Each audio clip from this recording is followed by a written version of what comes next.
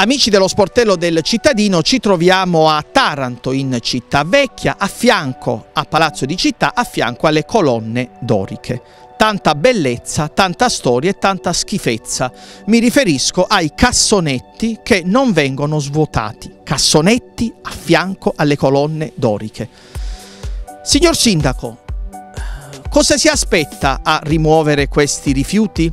È mai possibile che non certamente tutti i giorni vengono svuotati i cassonetti? Lei cosa aspetta di intervenire, Sindaco Stefano?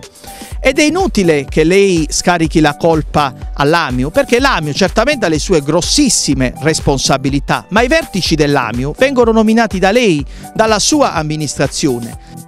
Signor Sindaco, immagini un po' che brutta immagine ricevono i turisti. Si faranno certamente una brutta idea della nostra città e non lo meritiamo viste le tante bellezze. Le colonne doriche e i cassonetti non svuotati. Le colonne doriche e i rifiuti. Sindaco, ma stiamo parlando di cassonetti che stanno a 20 metri, a 30 metri dalla sua sede istituzionale. Ma lei quando scende da, da, Palazzo di Città scende col paraocchi? Non vede lo schifo che c'ha uscendo da, da Palazzo di Città sulla sua sinistra?